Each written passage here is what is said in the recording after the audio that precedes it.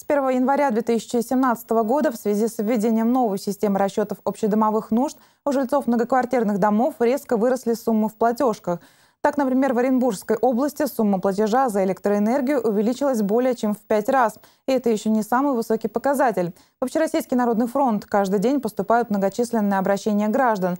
Обратились за помощью к активистам ОНФ в Ненецком округе и жильцы дома по улице Первомайской. В проблеме жильцов попыталась разобраться и наша съемочная группа ежемесячно на горячую воду, на холодную воду уходит по 17 кубов воды. То есть в целом 34 метра кубических воды у нас уходит на общедомовые нужды. При этом техничка берет воду с системы отопления.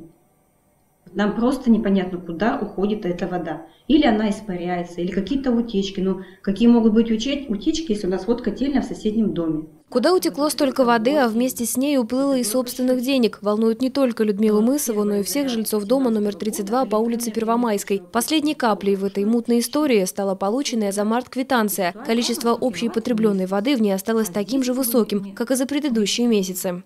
Мы обращались и в управляющую компанию, и э, в Госстройжилнадзор, и в управлении по ценам писали, там у нас тоже другие вопросы были параллельно, и в администрацию города, и в прокуратуру. Но мы ответа внятного не получили.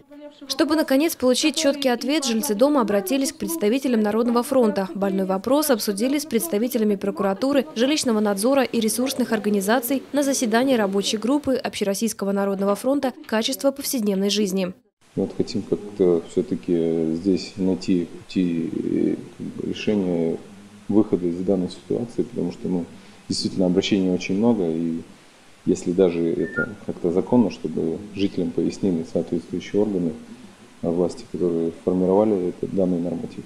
Эти нормативы, согласно жилищному кодексу Российской Федерации, разрабатывают сами регионы. В нашем округе они утверждены постановлением окружной администрации от 17 августа 2012 года. С этого года, согласно жилищному кодексу России, размер расходов граждан по содержанию общего имущества в многоквартирном доме не может быть выше установленных нормативов. Как пояснили нам в Госинспекции строительного и жилищного надзора НАУ, сделано это было из-за того, что граждане часто жаловались на управляющие компании, которые бесконтрольно использовали использовали ресурсы дома.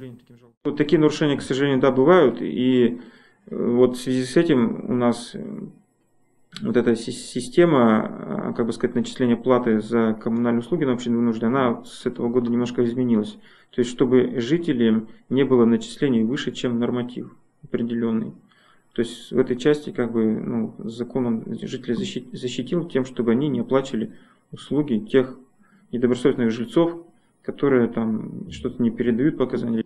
При этом жилищный кодекс дает управляющим организациям право выставлять жителям платеж за общедомовые нужды не по приборам учета, а по нормативу потребления коммунальных услуг. Так происходит в том случае, если в договоре между жильцами и управляющей компанией не прописано условие о взимании платы по фактическому потреблению воды, электричества и водоотведения. Происходит и так, что порой жители просто не имеют доступа к общедомовым счетчикам, как жильцы дома по улице Первомайской, и поэтому они не могут проверить правильность своих предположений относительно потребленных ресурсов на ОДН. Вот почему в квитанциях за этот год у многих жителей округа сумма за общедомовые нужды существенно выросла по сравнению с прошлогодней, рассчитанной по счетчикам, ведь норматив потребления установлен достаточно высокий. Именно по этим нормативам управляющая компания «Дренмарстрой», которая относится к дому по улице Первомайской, и была начислена оплата.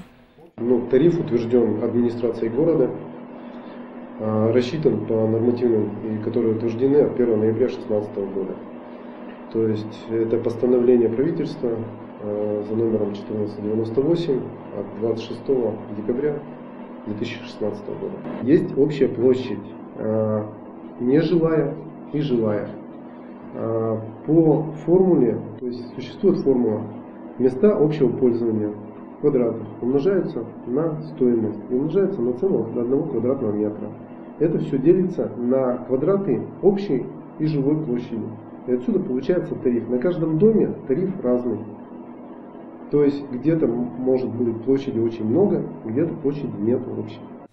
Кстати, сама управляющая компания с ресурсоснабжающими организациями будет рассчитываться в соответствии с показаниями общедомовых счетчиков. От таких нововведений и нестыковок в законах, как оказалось, простые граждане страдают по всей России. Вот и у жильцов дома номер 32 по улице Первомайской сложилась ситуация, когда фактическое потребление коммунальных ресурсов для общедомовых нужд оказалось ниже норматива, а платить пришлось все равно по максимуму. Ирина Нежалова, Любовь Пермякова, Владислав Носкин, Леонид Шишилов, телеканал «Север».